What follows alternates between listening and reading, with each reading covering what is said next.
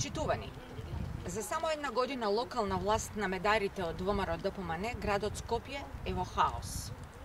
Најосновните функции и сервиси, локалната власт на ВМРО ДПМН во Скопје не може да ги испорача.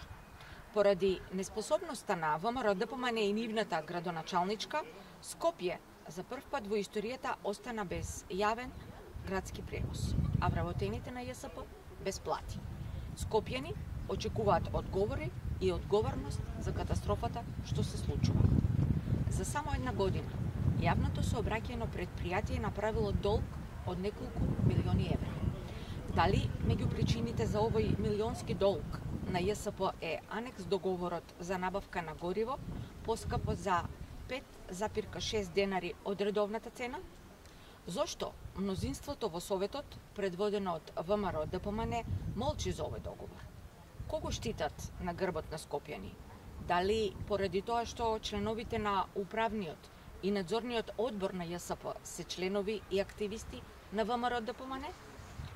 Колапс на ЈСП, огромни долгови, задоцнети плати и прекин на јавниот превоз е резултатот од неспособноста на кадрите на ВМРО да ДПМН, Мицковски и нивната градоначалничка Арсовска.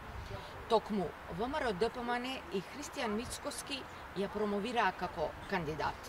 Ја носеа на терен со другите кандидати за градоначалници, шетаа заедно по митинзи, славеа заедно во Белиот дворец.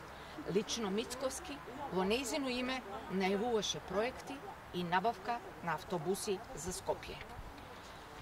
Наместо бесплатен превоз, Скопјани останаа без превоз. Наместо нови автобуси, остана и без тие што ги има.